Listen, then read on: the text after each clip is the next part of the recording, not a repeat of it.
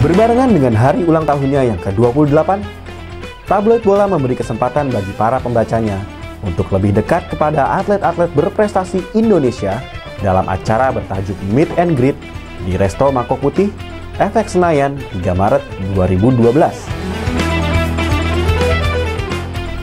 Dalam acara tersebut, turut hadir pesepeda cantik Risa Suseanti, pembasket Denny Sumargo, perenang muda berbakat Igede Siman Sudartawe, gelandang Persija Jakarta Ramdhani Lestaluhu, dan pembulu tangkis legendaris Susi Susanti.